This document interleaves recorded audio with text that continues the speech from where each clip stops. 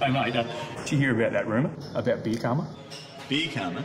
You drink one of these and a Victorian cops one. Oh, really?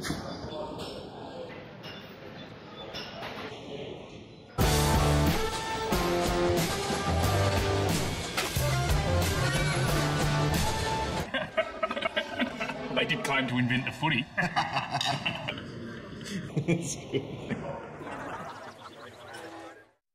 Welcome to Grassroots Online, a new concept brought to you by the South Australian Amateur Football League and our good sponsors at West End. I'm your host, Tommy Javor, and I'd like to welcome co-host, the footy chick, Lisa Wright. Thank you, Java. It's uh, it's good to be back, and yes, uh, absolutely, we are grassroots, and we are now on the interweb. And uh, at some stage, either this week or next week, we'll actually give you details on how you can upload it to your phone uh, or watch it on your computer. So, uh, going to be a slightly or very different format this year, but we're going to go through that uh, with our CEO Grant Goodall in the next segment. Yeah, I think uh, one of the things we're going to touch on with Grant will probably be uh, the accessibility of the great show that has been Grassroots over the years. Now being online, you can watch it when you want. That pressure of having to watch it on a Thursday at 8.30, it did conflict with a lot of uh, other commitments for football players. So this will give you a chance, especially when we're at your club, to check out how your club looks to the rest of uh, the South Australian Amateur Football League. And the best thing is too, we're not stuck in the studio anymore, so it means that we're going to spend more time out at your club, meaning that your club's going to get a heap, heap more exposure. So uh, watch out for us at a club, your club, very, very soon. Of course, later on in this show, uh, you'll get a chance to have a look at the Ingle Farm Football Club, won't you, Lisa? We did. We uh, we did our first footy trip out there for the year, and uh, just to see how the uh, all the new players out at Ingle Farm are doing. Yep, so if you'd like us to get to, out to your club sooner rather than later, by all means contact us or the Amateur League and we're more than happy to come out and accommodate those people that would really like to uh, put their club out there on the, uh, did you call it the interweb? The interweb. The interweb. The interweb. Right, let's, let's talk about round one of the uh, South Australian Amateur Football League because it was an absolute cracker, a barn burner. Um, Absolutely, especially Div One. Div 1, you couldn't, you couldn't tip. The only game you could have tipped would have been uh, probably the Henley Jeps cross game, a replay of last year's first semi final, but in this, this time it was Henley by 99 points. Yeah, no, uh, I think the tipsters, uh, your average tipster probably would have picked one uh, last week, and if you picked five You're. Div One, you have you know nothing about amateur league football. Absolutely, and the big guns. The, I mean, you talk about your Goodwood Saints perennially, the uh, or the, the the measuring stick, beaten by ten goals by PHOS Camden. Gaza beaten by five goals by the recently promoted Rostrevor. Kept goalless in the first half, I hear. Somewhat of a phenomenon, really. Is, it, is it too early to yell out premiership? I, th- I think it might be. I think with Goodwood playing Gaza this week, uh, that will tell us a lot. I Absolutely. think. Oh, I think about both teams as well, not just the, uh, the current premiers. Abs- absolutely. Now, I mean, SPOC were too good for Salisbury North again, another promoted team, and, and it was uh, all all teams in Division One, Two, and Three that were promoted actually had wins this week. Uh, a unique statistic. Uh, as in uh, five and six as well. Um, right? Actually, Plympton was the only promoted club that didn't win in round one. Doggies let us down. Never mind. Now, the team I want to talk about in Div 1 is the Broadview Football Club because they have taken, uh, I mean, SHOC were one questionable umpiring decision away from Premiership last year. They were uh, there and thereabouts for sure. Broadview have handed them an absolute hiding, really, uh, to the good of 62 points. And uh, Broadview, they uh, they remind me a lot of Gaza circa 2011. Uh, just good things coming from Broadview. Uh, of course, big recruit Kane Ackland. Uh, the dish licker Tom Schlicker, um, who uh, Coach Phil Harrison can't actually pronounce that. It's Schlicker, Phil, if you're watching, Schlicker. And a young boy from Port named Damien Tham doing good things on the weekend, as well as uh, those previous recruits from Modbury, all starting to really gel. Watch out for the Broadview Tigers, and of course Andy Reid off a halfback flag. The Flash, oh, he's an incredible footballer, and a lot of uh, exciting things coming out of Broadview this year. Well, it'll be good to see if they can. Um, obviously, they tasted premiership success a couple of years ago to get them back into Div 1, um, but uh, trying to find their feet since. And uh, yeah, it'd be good to see them do good things this year.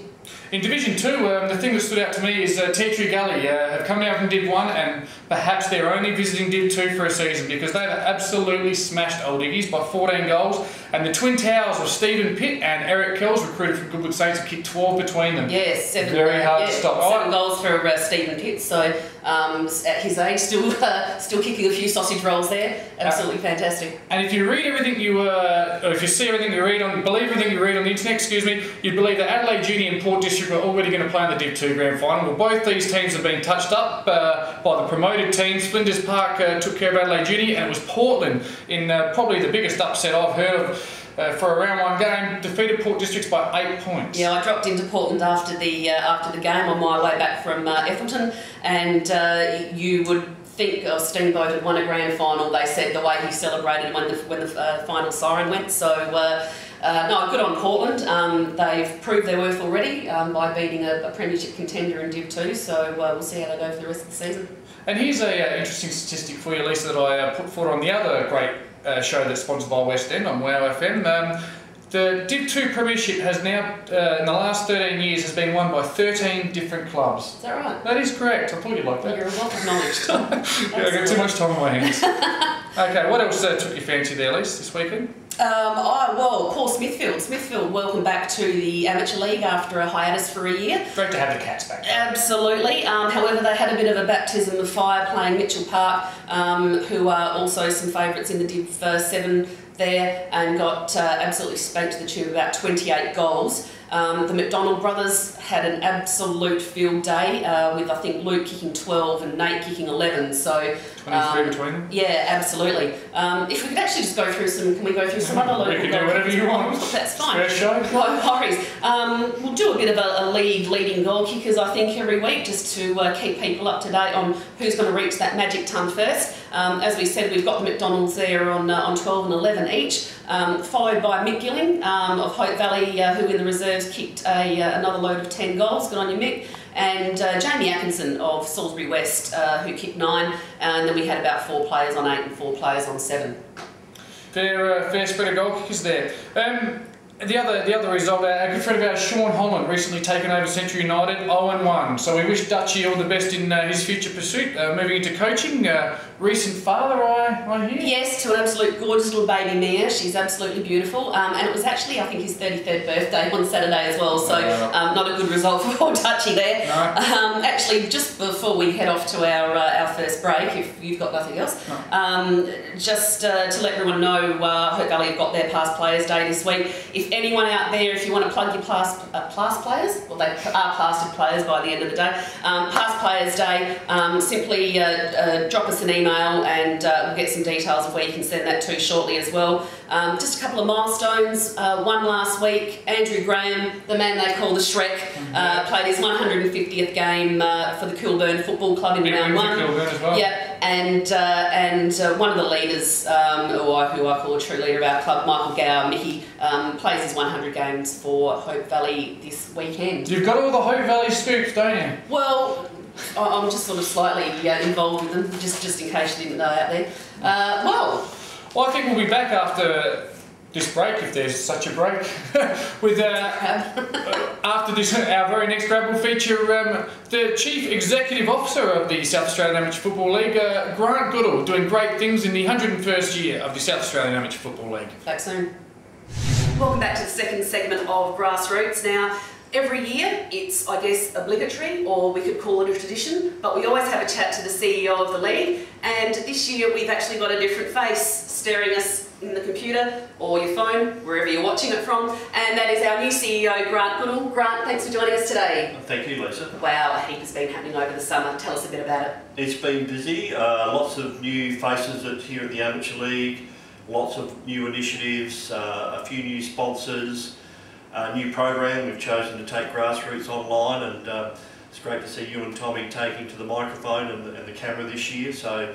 Uh, there'll be competitions. We thank West End for their support as well. Absolutely. Uh, couldn't have done this without them. So uh, thanks to all the team down at uh, Lion Nathan and West End. But look, uh, just to flag some of the projects, most people would be aware that the project uh, that's been going for well over three years on the drawing board, the lights here at Thebarton Oval, uh, was one of the first projects I took on. Very pleased that we made the SANFL Eagles Port match within hours really of it going. Um, they had a tremendous crowd, it was a record crowd, so the lights have already been a success. We're looking forward to uh, a number of games here through the season at amateur league level. Uh, look, we've made a lot of improvements um, to our systems. We've got a new website. We've got um, uh, Footy, Footy Web, our new uh, football player management system that we're working on as well. Uh, we've just finished our first uh, opening round, and look, I think for a new system uh, and the, the, amount of change we had here, I thought Sporting Pulse uh, Footy Web held up very well. Um, and you know, as with all new things, uh, there's always a few things you can improve. Uh, we've got the new look Sunday Mail. I'd have to acknowledge the work that Jeff Hurd did Absolutely. there in terms of getting that together and thank all the clubs for their support in terms of um, all chipping in really to give Amateur League such a professional look in the Sunday Mail every every week. Um, yeah, look, we've got a new catering manager here at Thebarton Oval. Uh, look, the list goes on. So there's a lot of things happening, and uh, it's going to be an exciting season. Absolutely. Now, Thebe, as we've all lovingly known it for X and X amount of years now, has a new name. It does. Adelaide Airport Stadium. Uh, I think it reflects, uh, the stadium certainly reflects that we're more than an oval. We have our function room. Um, you know, we are looking to develop the oval beyond the lights. We've got a long-term plan to perhaps try and get some funding to improve our function room or perhaps build up. It's been on the drawing board for quite some years, so we'll chip away at that over the next few years. Other new sponsors, we've had the, uh, the Greyhounds come on board and many clubs have used them successfully for fundraising already. Uh, Army Reserves um, have signed up recently, uh, so there'll be some Army Reserve promotion at Thebarton Oval over the, the season. Uh, West End, I've mentioned before, uh, fantastic sponsor. Adelaide Airport, uh, fantastic local sponsor. And, and here at the West Torrens Council too, we're supported by the Council as well as Community Football League uh, and SANFL as well, good supporters. So we've got a good list of sponsors on board this year and uh, there's a couple in the pipeline. Yeah, I just can't believe how much stuff has actually gone on over the past six months um, to get where we are now and everything's just moving along really nicely now. Um, I guess let's go into a bit um, what we're doing here at the moment. So um, as you know, we've decided to take grassroots uh, online. Um, I guess um, tell us a few of the benefits about taking grassroots uh, online. Well, the benefits are we have total control. Um, there are restrictions around community TV and radio, so we have a little bit more flexibility. Uh, the presenters, so you and Tommy, will have greater flexibility. But the clubs also get flexibility in the fact that uh, they can really watch this at any stage. So if they want to download this and put it up on their screen, or put it on their iPad, or get it on their iPhone, watch it at home, watch it at the club, watch it any time. Um, it really does bring the internet and the new wave of technology uh, right into the heart of uh, amateur league and we certainly think that it gives people the flexibility right around the world. We've already had people from London and Hong Kong indicate that they're looking to look at the program online and um, you know all those tens of thousands of people that are involved interstate and overseas will be able to get a really good look at what's going on. So it creates a lot more flexibility. It's a new world and um, we certainly are excited with our new sponsor to get a lot of people watching the show. Absolutely, and we can say West End as many times as we like, and we can drink beer because we're online and we can do what we like. But it must be West End because West End is our sponsor. yes, well said. So, and, and we thank West End. so, yeah, so I, like, we certainly encourage feedback and um, you know, we're, we're very confident that this new format's going to be successful. No, and look, so am I. And uh, once again, um, I guess on behalf of Tommy and myself, thank you for the opportunity. Um, and as I said, you know, the club are really going to benefit from this because we're now going to be able to get out to the more, which is fantastic. So, um, Grant, thanks very much for having a chat um, and, uh, and all the best for a smooth running of the year. A pleasure, or as the uh, politicians say, good to be with you. thanks, Grant. And uh, once again, we will be back very shortly with the first footy trip for the year at Ingle Farm. Welcome Rooters and welcome for the first time to Grassroots Online. That's Grassroots Online, remember that name because you're going to see us every week on location and this week our very first location is the Hello Turf of the Ingle Farm Football Club. The very club where 30 years ago, nearly to the day, I made my debut. And I tell you what, it feels like, well, it feels like 30 years ago to be honest, but it's great to be back. We're looking forward to a, a team that has been, um, it's almost fair to say, filled with controversy over the summer months. Um, many, many uh, different transfers and a lot of talk on the internet about what's happening at the Ingle Farm Football Club. But I'm sure it's going to be an exciting year in Division 6 for the Farmers. We're looking forward to getting around the club, meeting some of the interesting people, and hopefully giving you a good introduction into the team that I think is going to make an impact on Div 6, the Ingle Farm Football Club.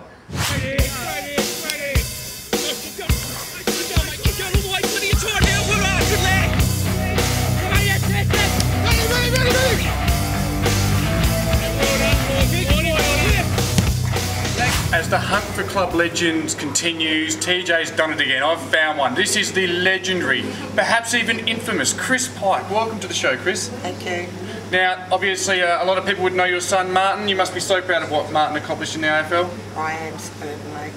Several premierships and uh, a lot of good stories. Um, but we're here for the Ingle Farm Football Club. Tell us, what has it that brings you back to the Ingle Farm Football Club year after year? Someone just told me outside you've been involved for 62 years? I wish. 36 years, perhaps. Uh, 36, yes, Yep. And and have you you must have done so many roles in those 36 years? I have. Ranging from canteen, team manager. I haven't ever coached though. Not the football side of things anyway. Um, kitchen, you name it, I've probably done it. And are you looking forward to a big year for the Bulldogs? I am quite excited about this year. We've got a lot of new recruits and um, we're hopeful. But, you know, we need to um, just consolidate into the, the division we're in and next year go for the higher level and then keep rising. And in 36 years, is there one highlight here that stands out in your mind? Uh, no, not really. It's been a long time since premiership. That that was a highlight.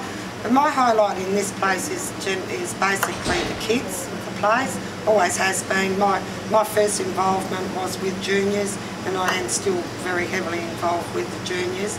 And the juniors is what keeps you going. No worries. Now, I noticed the sign on the way in says Ingle Farm, the family club. It's obviously something close to your heart 'cause I don't know if we can pan across with the high-tech equipment we've got, but just over here, just over here, we have uh, Chris's grandson. G'day, mate. How are you? What's your name? Uh, Matt, Well done. yeah, he wasn't ready for that. Thanks very much for joining us, and we wish your club all the best this year. Thank you very much.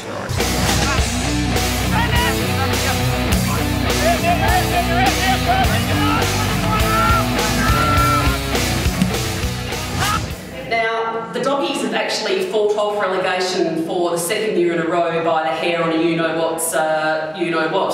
And uh, so what they've done this year is they've brought in the big guns. Uh, we've got new A grade coach Wayne Knowles with us at the moment. Wayne, thanks for having a chat with us today. No dramas. Beautiful. Now, um, Wayne, give us a bit of a background on uh, on where you've come from, um, where you've uh, been before, and what you're doing here now. Um, well, played all the junior footy down here at Ingle Farm, played 134 games, junior games.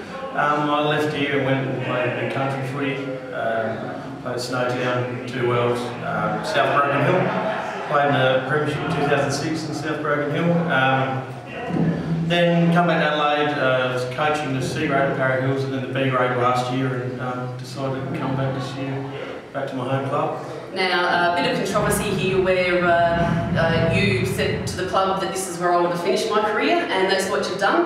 Um, but you've ended up uh, bringing just a couple of lads along with you. Um, yeah, a couple of boys I um, brought along. There's probably I think there's 11 in total. Um, Just a couple. yeah, well, they're, you know, but they're not all A graders. Um, let's be honest about that. There's a few blokes that um, have just come along to have a bit of a kick in the in the B's and C's, which are, you know, which is good. Gives us numbers, which gives us depth, and that's what we're looking for here. Absolutely. So, uh, do we call you Ingle Hills or do we call you Para Farm this year? Uh, you can call us whatever you want to call us. Really, we're just um, we're just happy to go along for the ride Div Six. Would you like to call yourself Premiers? Um, no, definitely not. No, no, not at this stage. Um, we're going to go through a rebuilding stage. Um, premiership would be nice, um, but yeah, I've signed on for three years with the whole intent to try and turn this joint around. Absolutely. And uh, looks like you're going the right way about it by uh, bringing over all the lads, and it looks uh, everything's really looking up here this year. So uh, we wish you all the best for the year, and thanks again for having chat. Thanks, Les.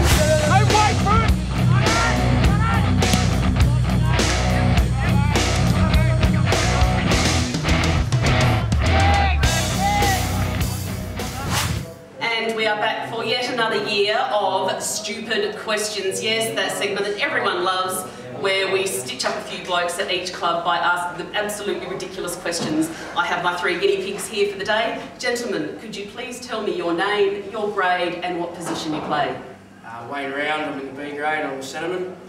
Mark Smart, C grade, uh, forward pocket. And Sean Cummins, A grade, centreman. Beautiful. Fellas, uh, what do you love about the Ingle Farm Football Club? Uh, the people mainly, you know, good group of people down here.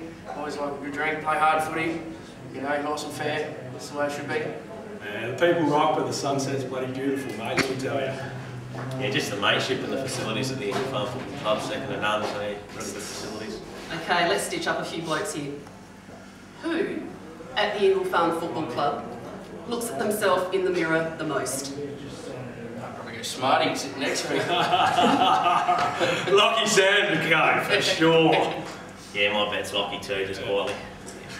Beautiful. Okay, and uh, which player has the best moves on the dance floor?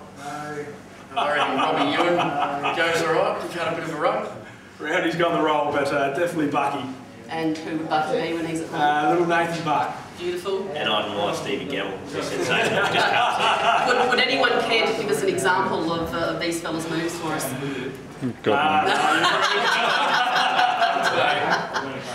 Uh, and finally, which of your fellow teammates tends to use too much product? Shannon Knoll by miles, I reckon. That's Betty. Ah, gee, who uses too much product? Not you, obviously. Thank you very much, I do. Lots of hair, let me tell you.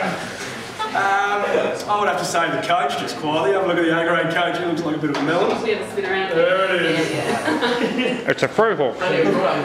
And, uh, and finally, your pick for uh, who uses too much product. Yeah, I reckon Knowlesy too, he doesn't mind how well. Well, there you have it. We've stitched up a few blokes, fellas. Thanks for your time.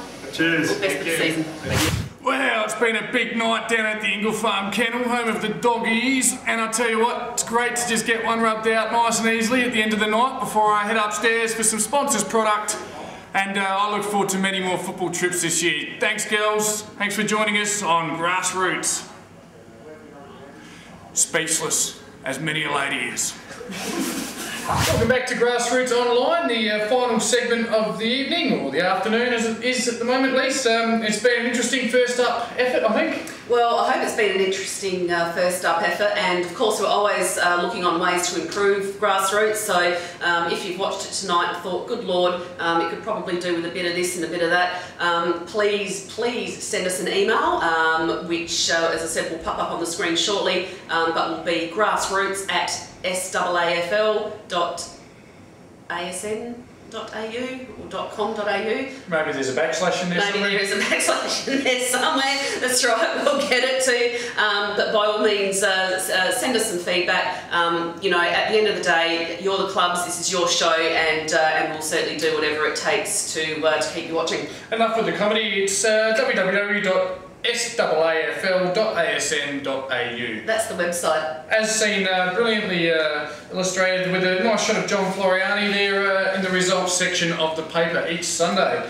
Beautiful work there, Jeff Hurd, I think was mentioned a bit earlier. Absolutely. Now, um, and just before we go uh, any further, um, we failed to mention, how could we look at this fantastic football um, supplied to us by our lovely sponsors at Sherrin, um, which of course uh, everyone will be using this year.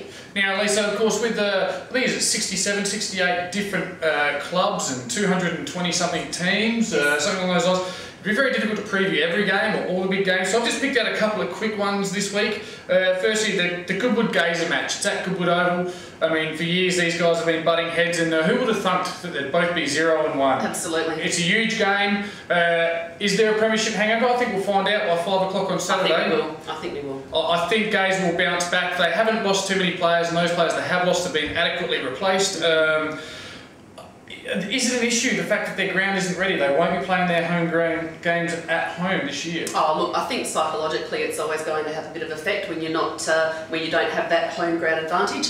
Um, but uh, as I said, the grass seems to be going down on uh, on the Klemzig Oval at the moment. Slowly so very, very slowly but surely. So um, hopefully they'll be back on it soon. But look, you know, if uh, if they are as mentally strong, and I'm sure Nathan Granger's got it all in their heads that it doesn't matter where they play. Um, they're a good side, and they only lost one game last year for a reason. So um, I don't think that's going to make much of a difference to them. We will see. The other one in Div 1 that I really uh, like is a.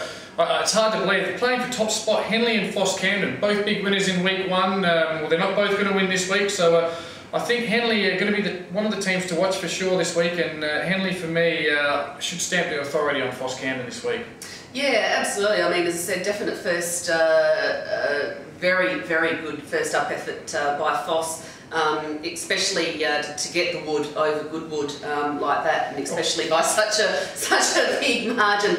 But you know, look, Henley are a force and are you know one of the premiership favourites in any given year, and uh, I think they'll prove that again this Saturday. I think Weed and the boys will be really looking to make the Skull Cave a bit of a fortress this year. Big Absolutely. oval, and they should be able to play it better than other teams. Absolutely. In Division 2, it's the Battle of the Reds that interests me. It's Flinders Park and PAC. Flinders Park with the first up win, PAC knocking off uh, relegator from Div 1 Eastern Park.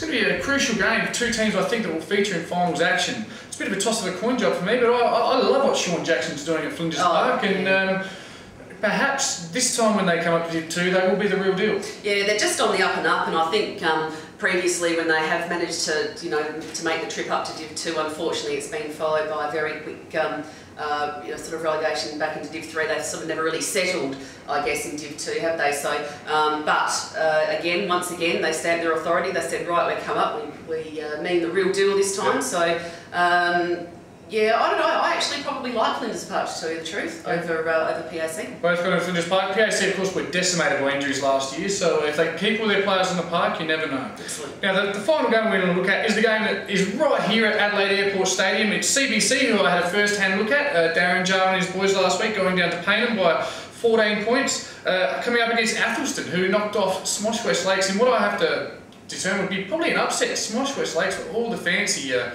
the start of the year, over the summer, and uh, Athelstone were able to kick 10 goals 23 uh, against them and still get up. So um, it's going to be a, a huge game. CBC, um, a very young squad. Uh, you've got a uh, young Jarman in there, Andrew Jarman's son. Uh, Stefan? Yep, Stephen Jarman, uh, Alex Carey, who was uh, formerly on the Greater Western Sydney list, and uh, Christian Puccini still floating around the uh, the old dog, the young fella. He's still only four foot seven, but still wins plenty of ball down there. Um, they'll be formidable, uh, CBC, but I just think uh, Athelstone uh, are going to visit Div 3 just for a year. I think Uh, are going to be the real smokies for this division.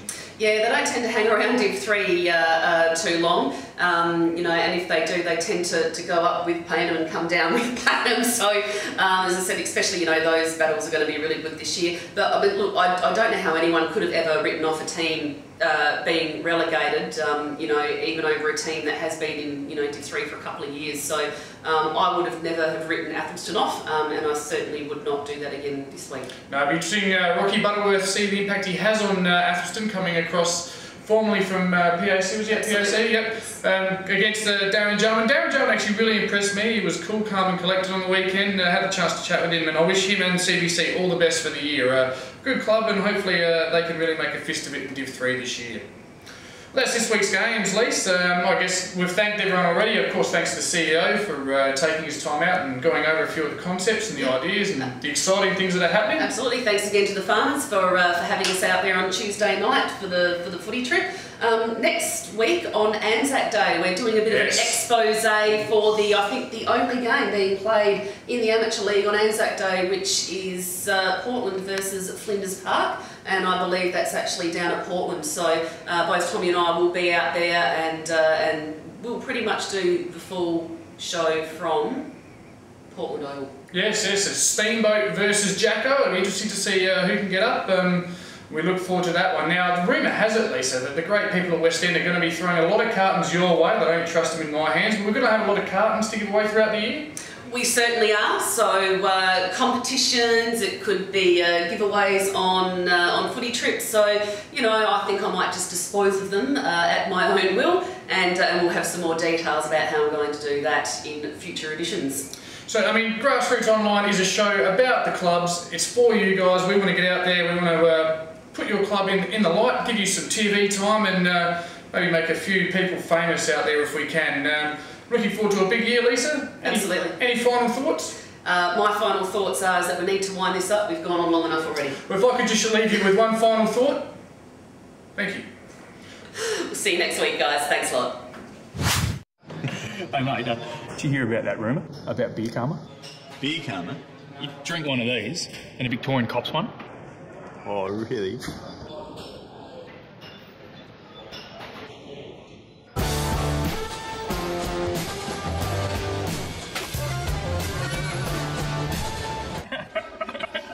they did claim to invent the footy.